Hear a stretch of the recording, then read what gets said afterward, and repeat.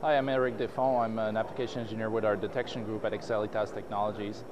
Uh, we're here at SPIE Defense Sensing and Security to uh, talk about our new Harlid. We've basically fully automated the assembly of the Harlid, the high angular resolution laser irradiance detector, which is used in laser warning systems to detect um, multiple incoming signals and um, digitally, digitally encode the angle of arrival of the lasers as well as, as respond fast enough to allow, allow, you to do frequency and time domain analysis and determine pulse repetition rates, uh, wavelengths to some degree, and basically determine who's a friend or foe in the battlefield.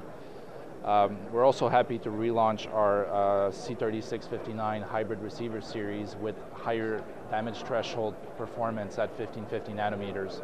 So the C30-659-1550E series is now uh, available for uh, laser range finding applications where higher incidence light could uh, severely affect the APD in some situations.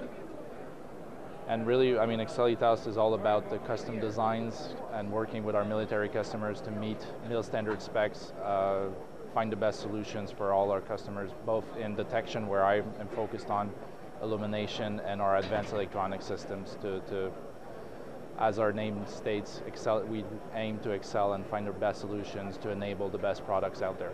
So feel free to contact us for any information, www.excelitas.com.